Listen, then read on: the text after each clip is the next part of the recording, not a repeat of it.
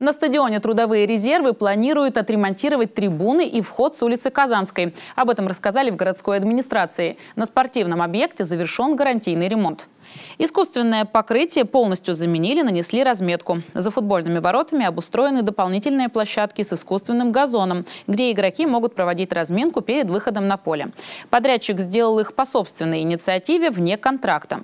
В этом году на стадионе появится новое освещение. В проекте обустройства нижнего футбольного поля в этом году также планируется отправить документы в Российский футбольный союз для получения спортивной школы номер 5 статуса детского спортивного футбольного центра. Это позволит в будущем получать федеральные субсидии на приобретение оборудования и инвентаря, а также на поездки на соревнования.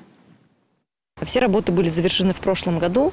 Прошла зима, провели осмотр э, исполненных работ и поняли, что есть э, некоторые замечания и по футбольному полю, которые вскрылись, и по беговым дорожкам. Работы были начаты где-то в середине июня, и на сегодняшний момент данные работы все в полном объеме завершены. Дренаж выполнен очень качественно, ни одной лужи на футбольном поле после вот тех продолжительных и массивных ливней не осталось. Есть у нас предпроектная документация, то есть картинка, как бы хотелось видеть эту территорию. Это в том числе с восстановлением входа э, с перекрестка улицы улицы Казанской.